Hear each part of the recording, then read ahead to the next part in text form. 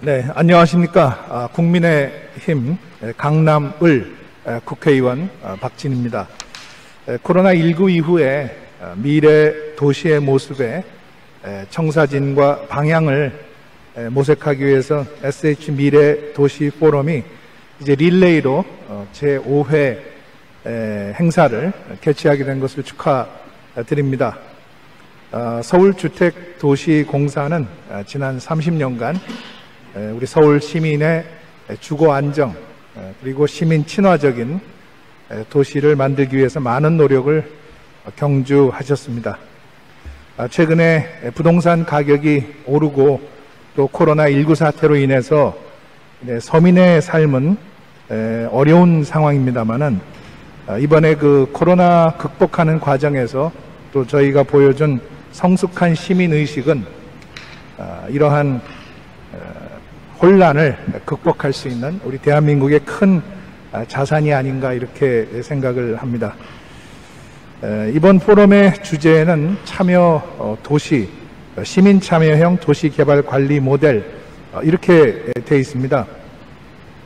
그 사회와 도시가 급격히 변화하는 과정에서 어, 시민의 참여로 도시를 개발하고 관리하는 것은 그 미래 도시의 방향을 결정하는 중요한 길이라고 생각을 합니다.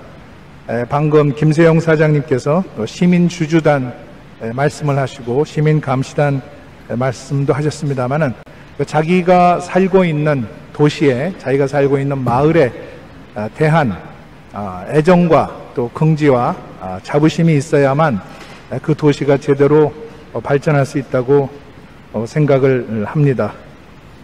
어, 예를 들어서 요즘에 코로나 때문에 많은 분들이 주말이 되면은 한강에 나와서 가족들과 시간을 보내고 또 자전거도 타시고 이렇게 하십니다.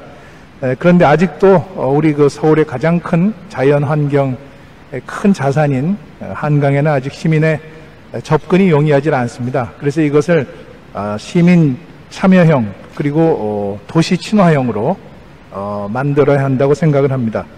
그리고 이제는 아, 직장뿐만 아니라 아, 집에서 일을 하고 또 아이들이 집에 있는 시간이 많아졌기 때문에 그 기존의 그런 그 주거 개념 또 직장 개념 어, 이것도 상당히 혁명적으로 앞으로 바뀌게 되지 않을까 이렇게 생각을 하고 있습니다. 아, 따라서 코로나19 사태가 우리에게 닥쳐온 큰 도전이기도 하지만 또 도시 참여형, 시민 참여형 도시를 만든다는 점에서는 하나의 커다란 기회가 될 수 있다고 생각을 합니다.